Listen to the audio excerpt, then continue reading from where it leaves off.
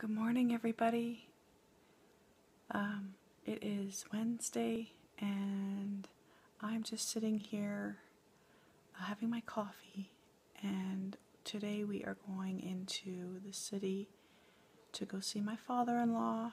My husband has a meeting uh, with the doctor. Well, I could go too, but I don't want the kids to be a part of the meeting because I don't want them to distract what the doctor is trying to tell the family. Anyway, so I'm going to take them and uh, occupy them. And my husband will go to the meeting and we'll go visit Grandpa. Uh, but before I get things rolling, I had this strong urge to try something different and something that I have never done before. So I'm going to turn you around and take a peek. Now, this is not really, I don't really consider this a WIP. I consider it more of a learning piece because I am taking chunks of a particular pattern called Pandora's Box and I'm only doing parts that I want to do. So I'm going to turn you around and just show you. So I just have this scrap piece of 25 count. Um, I want it to be small because it's not really a piece that I want to turn into a WIP or a project it's not something I, that I intend on really like hanging or framing or anything. It's just a practice piece to get me used to doing pulled work, pulled thread work. So what I'm doing is I'm taking uh, Pandora's box and I am just doing the square boxes. So each box is 14 by 14. And then inside the box, um, she has you fill them in with um, different pulled thread techniques. And there's some cross stitch as well. Um, if you guys don't know what Pandora's box is, um, you can go to Elizabeth Almond's website, blackworkjourney.uk I'll link it below. I'll link it below. I think most people are familiar with it. She's done Save the Stitches and the Box of Delights and stuff. So this is the Pandora's box. I'm just using silk. It's like a J Japan silk. It's very, it's not twisted. And then in the insides, I'm going to use my de Havilland silk. Uh, so there's going to be some color on the inside, but the white it's just, the border is just white. So I'm going to see if I can get a close-up for you guys. There you go. So that's all I've done so far. Uh, it's a good little piece that I plan on taking with me in the car going to the city. And uh, I can also uh, do it while we're in the hospital with Grandpa. So I just thought that I would share that with you guys.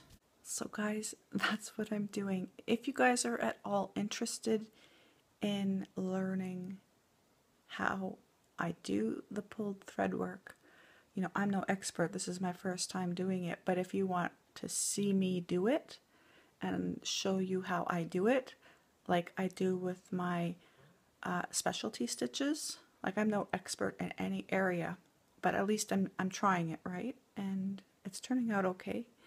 So if you guys want, I can show you how I'm doing the, the pulled thread work in other videos if you're interested. Uh, comment below and let me know if you're interested in that.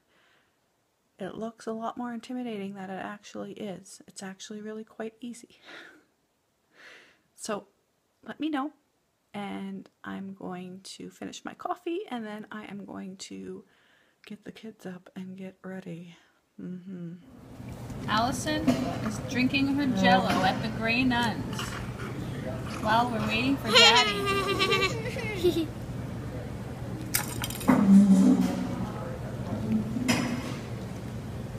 Is that good, Allison? Yes. Naomi's drinking her jello too. Is that good, Naomi? And here's Miss Mess. She's definitely my child. Miss Mess? Yeah, I used to be called Miss Mess when I was a little, when I was a teenager. Yes, I was Miss Mess. Watch this. I still am Miss Mess. Watch this. Watch this. Good morning, guys. it is the next day.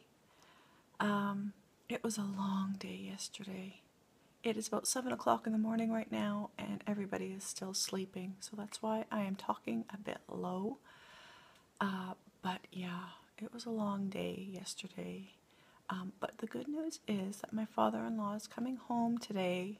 My husband's going back to the city to get him today. I'm not going, and the kids aren't going. We're going to stay home because we're going to be going on our next. Sorry, I'm just moving in my chair. We're going to be uh, going on our next holiday very soon. So I got stuff to do. Uh, I wanted to show you what I had done with Pandora's box though. Uh, the uh, clip that you saw earlier, that was done wrong. Um, because I want to do it, I'm doing it on 25 count and I want it, and it's supposed to be done over two.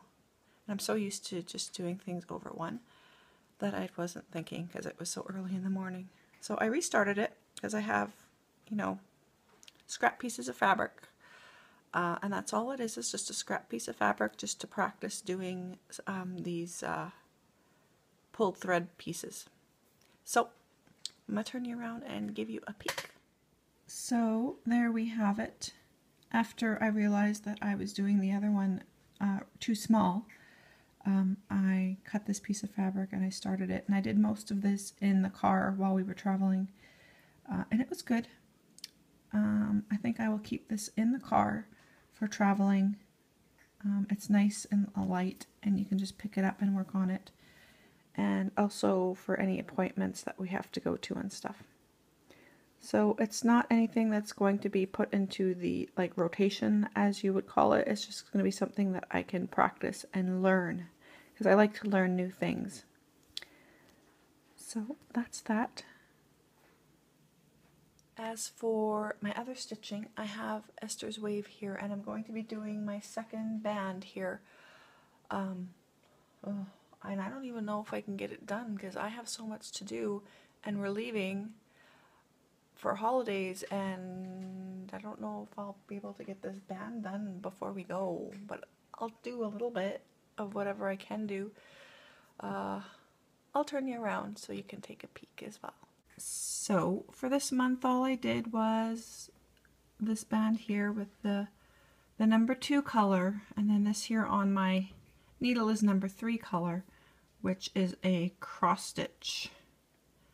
So that's good. I think I'm just going to do the, um, the cross stitches and then maybe I will add the beads when I get home from my holiday. So I'm going to end the video here for today. I know it's still morning, but this is just a carryover from yesterday. So thank you guys so much for your support once again.